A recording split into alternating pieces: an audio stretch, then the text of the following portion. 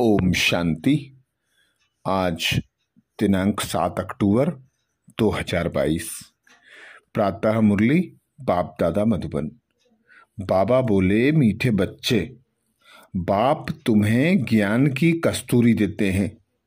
तो ऐसे बाप पर तुम्हें कुर्बान जाना है मात पिता को फॉलो कर, पावन बनाने की सेवा करना है। मीठे बच्चे बाप तुम्हें ज्ञान की कस्तूरी देते हैं तो ऐसे बाप पर तुम्हें कुर्बान जाना है। मात पिता को फॉलो कर पावन बनाने की सेवा करनी है। अर्थात स्वयं भगवान निराकार परमात्मा। इस भारत भूमि पर ब्रह्मा तन का आधार लेकर हम बच्चों को ज्ञान और योग के द्वारा सतयुग की राजाई प्रदान करते। अर्थात पतित से पावन बनाते। तो जैसे हमारा पिता निस्वार्थ सेवा करते हैं, उन्हें जगतंबा और प्रजापिता ब्रह्मा फॉलो करते। और हम बच्चों को बाबा ज्ञान सुनाकर, पावन बनाकर कहते, तुम आधारमूर्त आत्माएँ हो। तुम्हें विश्व का परिवर्तन करना है, सबको पतित से पावन बनाने की सेवा करनी है। तो मात पिता को फॉलो करना है। बाबा आकर हम बच्चों को ज्ञान कस्तूरी देते, पतित से पावन बनाते, दुखी से सुखी बनाते, तमो प्रधान से सतो प्रधान बनाते तो ऐसे बाप पर कितना कुर्बान जाना चाहिए? तो बाबा पर अपना तन मन धन समय संकल्प सब कुछ न्योचावर कर। मात पिता को फॉलो कर। जो मात पिता का धंधा है, वही धंधा करना है। प्रश्न किया बाबा ने, जो तकदीरवान बच्चे हैं, उनकी निशानी क्या होगी? जो तकदीरवान बच्चे हैं, उनकी निशानी क्या होगी? उत्तर में बाबा समझाते, तकदीरवान अर्थात बख्तावर बच्चे। अच्छी रीति पढ़ेंगे और पढ़ाएँगे। वह पक्के निश्चय बुद्धि होंगे। कभी भी बाप का हाथ नहीं छोड़ेंगे। धंधे आदि में रहते यह कोर्स भी उठाएँगे। बहुत खुशी में रहेंगे, परंतु जिनकी तकदीर में नहीं है, वह लॉटरी मिलते हुए भी गवा देंगे। अर्थात बाबा तकदीरवान हम बच्चों की तकदीर जगाते। भाग्य विधाता भगवान हमें श्रेष्ठ ऊँचे ते ऊँचा भाग्य प्रदान करते इस पढ़ाई और योग के आधार पर। तो बाबा कहते, जो तकदीरवान अर्थात पख्तावर बच्चे हैं, वे पढ़ेंगे, धारण करेंगे, स्वरूप में लाकर औरों को पढ़ाएँगे। ऐसे बच्चे पक्के निश्चय बुद्धि वाले होंगे। बाबा कहते जिस प्रकार लौकिक में भी, शादी के बाद भी पढ़ते हैं। ऐसे ही तुम बच्चों को घर गृहस्थ में रहते, धंधा धोरी करते, यह पढ़ाई करना है। एक सेकेंड का कोर्स है, एक सेकेंड में कोर्स उठाकर निश्चय बुद्धि बनकर बाबा कहते, पढ़ो और पढ़ाओ। गीत सुनाया बाबा ने, भोलेनाथ से निराला कोई और नहीं। ओम शांति। भोला कहा जाता है, उनको जो कुछ भी नहीं जानते। अभी बच्चे जानते हैं कि बरोबर हम मनुष्य कितना भोले थे। माया कितना भोला बना देती है। यह भी नहीं जानते कि बाप कौन है, बाप कहकर पुकारना और जानना नहीं। फिर यह भी मालूम नहीं हो कि बाप से क्या प्रॉपर्टी मिलती है। तो भोला कहेंगे ना, भोला कहो, बुद्धू कहो, एक बात है। इस समय सब बेअक्ल बन पड़े हैं। उनको फिर बेअक्ल का भी घमंड है। बच्चे, तुम बाप को जानते हो और उनसे सुन रहे हो। बाकी आत्मा को देही अभिमानी बनने की मेहनत करनी है। बाबा खुद बैठ सिखलाते हैं कि है आत्मा, देही अभिमानी बनो। अपने को पारलौकिक बाप के बच्चे निश्चय करो। लौकिक बाप को तो जानते हो, बाकी तुम इतने भोले हो जो पारलौकिक बाप को नहीं जानते। अब तुम बच्चों की बुद्धि में बैठा है कि यह बातें परमात्मा पिता समझाते हैं। तुम छोटे बच्चे नहीं हो, तुम्हारे आर्गन्स तो बड़े हैं। बाप समझाते हैं, अगर अपने को देह समझेंगे। तो बाप को याद नहीं कर सकेंगे। अपने को देही अभिमानी समझो, बच्चे बच्चे। बाप को नहीं, बाबा कहते, बच्चे बच्चे, बाप को नहीं, आत्मा को कहते हैं। और बच्चे, आत्माएँ, सब शिव बाबा को परमात्मा बाबा कहते हैं। किसी आत्मा को व ब्रह्मा को नहीं कहते। यह भी उनका बच्चा है। अब तुम जानते हो कि हमारा बेहद का बाप इनमें आया है तो बाप को याद करना पड़े। चौरासी के चक्र को भी याद करना पड़े। यह बेहद का पाँच हज़ार वर्ष का नाटक है। तुम एक्टर हो। अब तुमको ड्रामा के आदि मध्य अंत का मालूम। पड़ा है। तो सारा चक्र बुद्धि में फिरना चाहिए। तुम्हारा नाम कितना बाला है, स्वदर्शन चक्रधारी। फिर भविष्य में तुम चक्रवर्ती राजा बन जाते हो। चौरासी जन्मों की कहानी चक्र में सिद्ध होती है। तुम अब बाप के बने हो, यह स्मृति में रखना है। जितना अंधों की लाठी बनेंगे, उतना बाप समझेंगे, यह रहम दिल है। कहते हैं, रहम करो, मेहर करो। तुम जानते हो, बाप कौन सी मेहर करते हैं? बाप मिला है तो कितनी खुशी होनी चाहिए? अब तुमको पैरों पर खड़ा रहना है, जैसे कहते हैं, सेंटर अपने पाँव पर खड़ा हो तो तुमको भी अपने पाँव पर खड़ा रहना है। ऊँचे ते ऊँचा पुरुषार्थ करना है। Follow father, mother. लौकिक में बच्चे बाप को फॉलो कर पतित बन जाते हैं। यह तो पारलौकिक बाप के लिए कहा जाता है, उनकी श्रीमत पर चलना है। बाबा, मम्मा को देखो, धंधा क्या है? पतित को पावन बनाने का। और धर्म पिताएँ जब आते हैं तो उनके धर्म की आत्माएँ ऊपर से आती हैं। वहाँ कन्वर्ट करने की बात नहीं। यहाँ कन्वर्ट करना है। शूद्र को ब्राह्मण बनाना है। इसके लिए तुमको मेहनत करनी पड़ती है। तुम कितना लिटरेचर देते हो। वह देखकर फाड़ देते हैं। तुम बच्चे हो रूप पसंद जैसे बाप वैसे तुम बच्चे। तुमको ज्ञान की वर्षा करनी है। यह चित्र बड़े अच्छे हैं। त्रिमूर्ति का चित्र बड़ा ज़रूरी है। इसमें बाप और वर्षा दोनों आ जाते हैं। बाप के बिगैर दादे का वर्षा कैसे मिलेगा? श्री कृष्ण का चित्र सबको अच्छा लगता है। बाकी चौरासी जन्मों की लिखत अच्छी नहीं लगती। उन्हों को चित्र अच्छा लगता है। तुमको विचित्र अच्छा लगता है, क्योंकि तुमको बाप ने कहा है, आत्म अभिमानी भाव।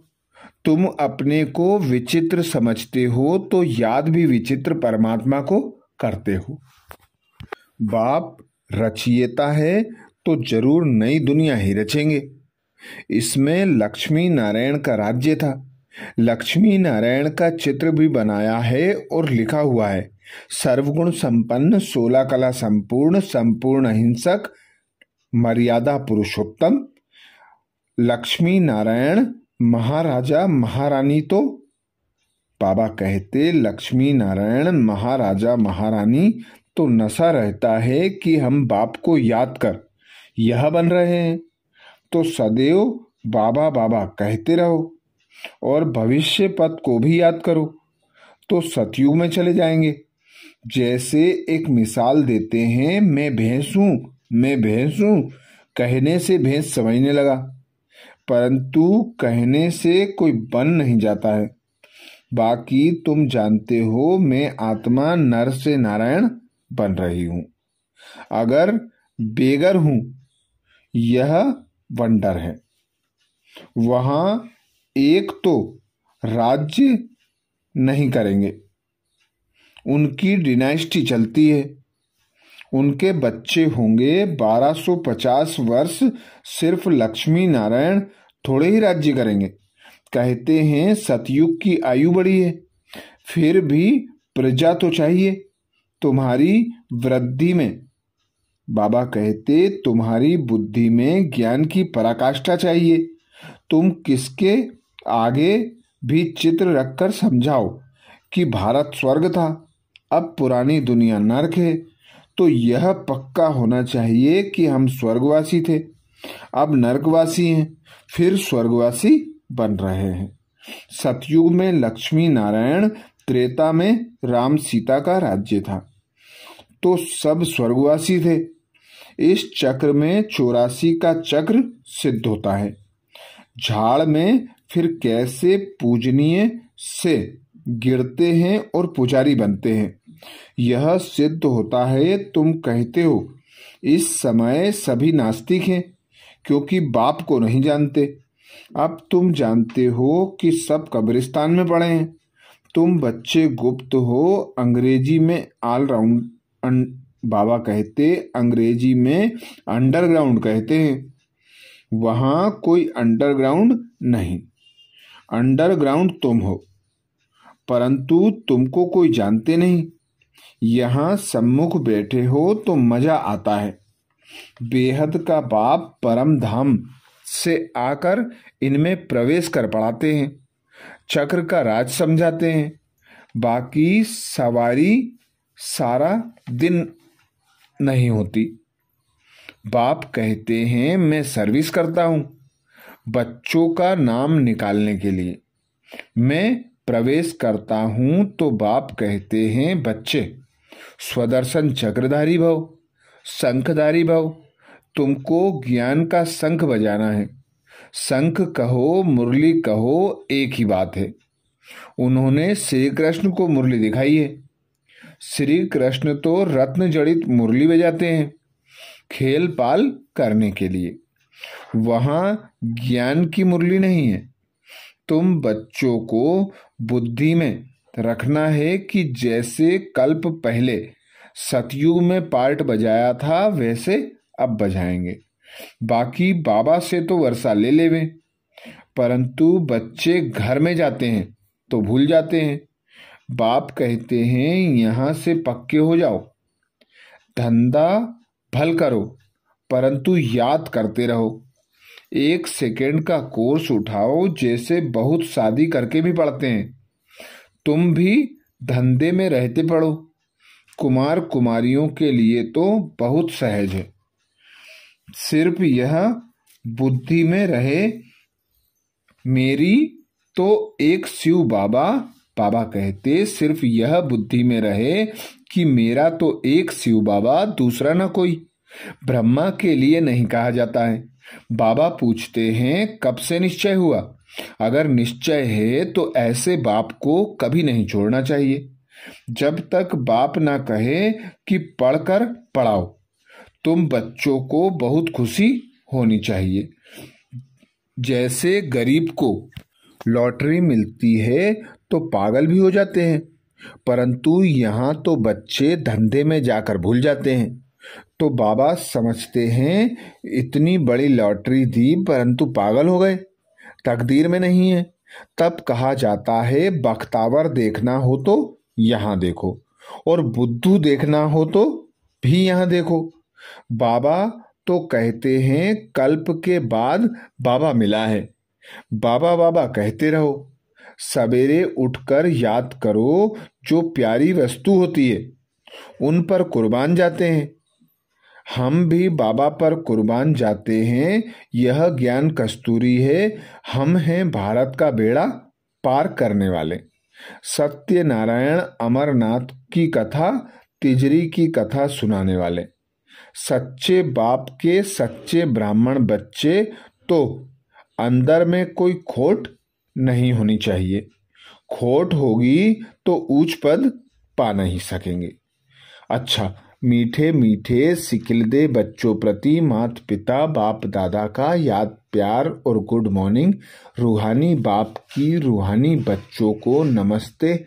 हम सब रूहानी बच्चों की रूहानी मात पिता बाप, दादा को याद, प्यार, गुड मॉर्निंग और नमस्ते। आज बाबा ने रात्रि क्लास 28 मार्च 1968 की रखी। जिसमें बाबा ने समझाया है, ऐसी प्रैक्टिस करो। यहाँ सभी कुछ देखते हुए, पार्ट बजाते हुए बुद्धि बाप की तरफ़ लगी रहे। जानते हैं यह पुरानी दुनिया खत्म हो जानी है। इस दुनिया को छोड़ हमको अपने घर जाना है। यह ख्याल और कोई की बुद्धि में नहीं होगा। और कोई भी याद समझते नहीं। वह तो समझते हैं कि यह दुनिया अभी बहुत चलनी है।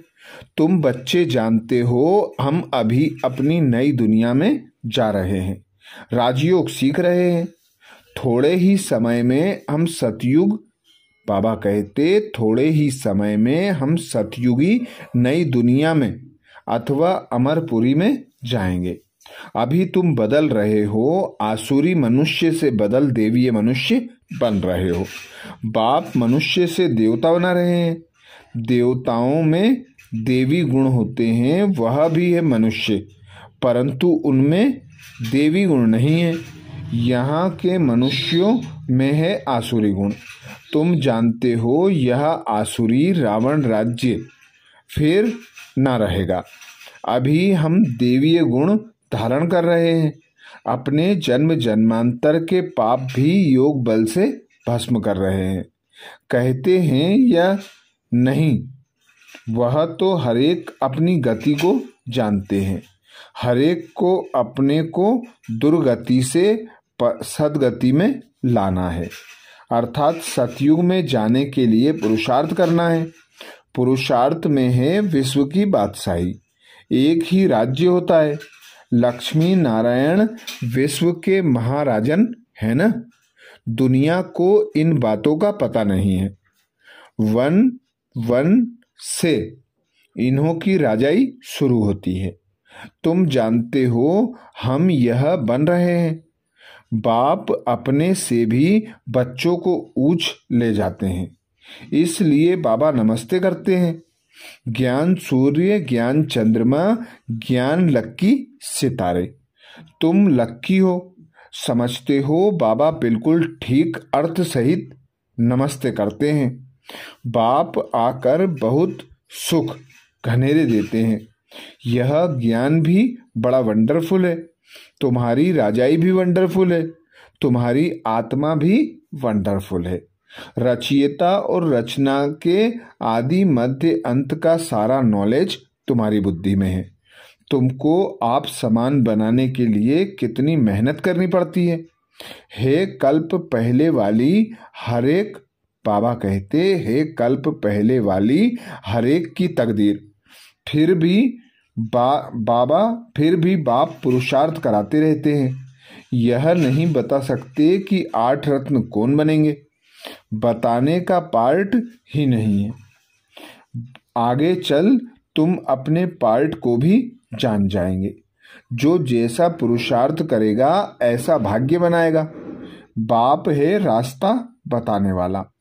जितना जो उस पर चलेंगे, इनको तो सूक्ष्म वतन में देखते ही हो। बाबा कहते, इनको तो सूक्ष्म वतन में देखते हुए। देखते ही हैं। प्रजापिता ब्रह्मा साथ में बैठा है।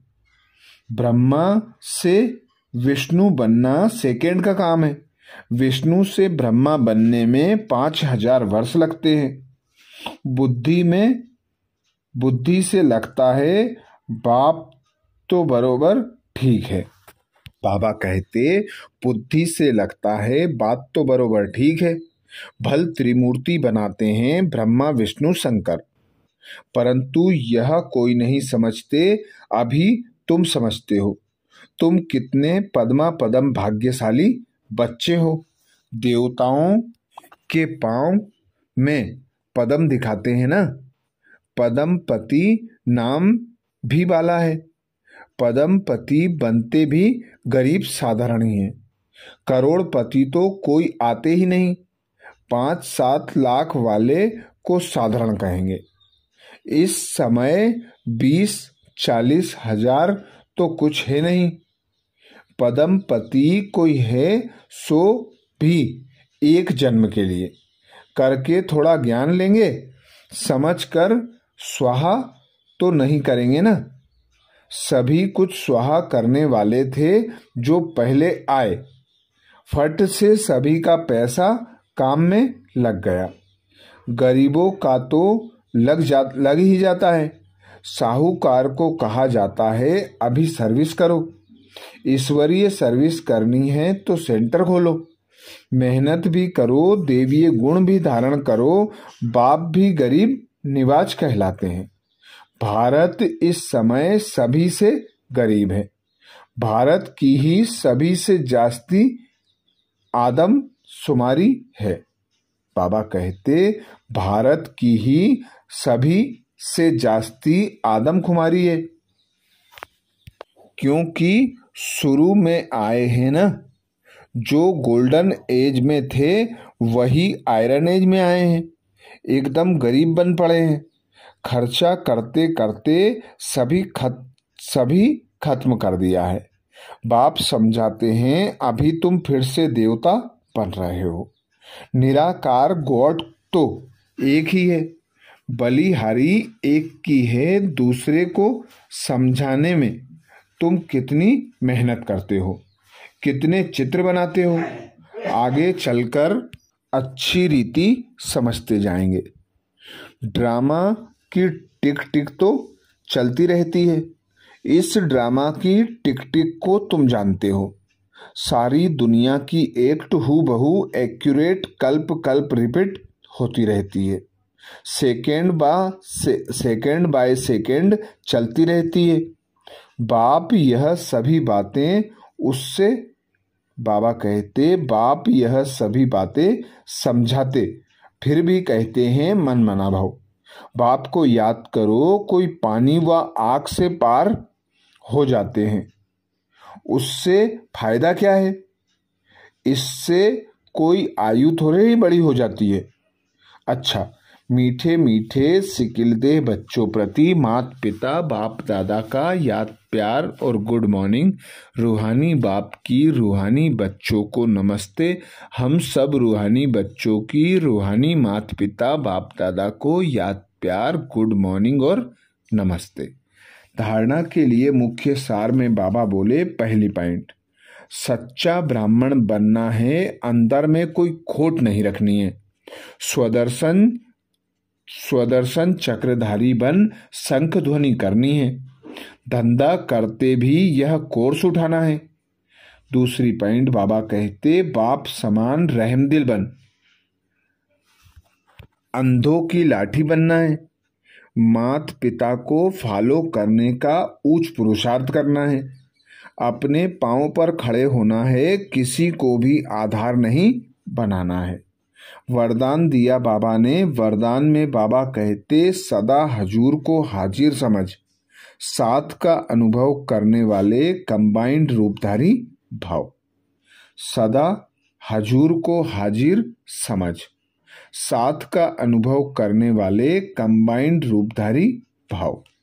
डिटेल में बाबा समझाते बच्चे जब भी स्नेह से बाप को याद करते हैं तो समीप और साथ का अनुभव करते हैं।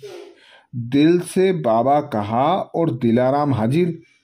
इसलिए कहते हैं, हजूर हाजिर है। हाजिरा हजूर है।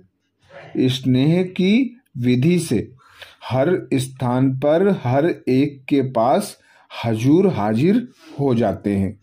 अनुभवी ही इस अनुभव को जानते हैं। गाया हुआ है, करण करावन हार तो करण हार और करण करावन हार कंबाइंड हो गया। ऐसे कंबाइंड रूपधारी सदा सात का अनुभव करते हैं। स्लोगन में बाबा कहते, मन को सदा रूहानी मोज में रखना, यही जीवन जीने की कला है। मन को सदा रूहानी मोज में रखना, यही जीवन जीने की कला है। तो ये थे बाबा के महावाक्य। अच्छा ओम शांति।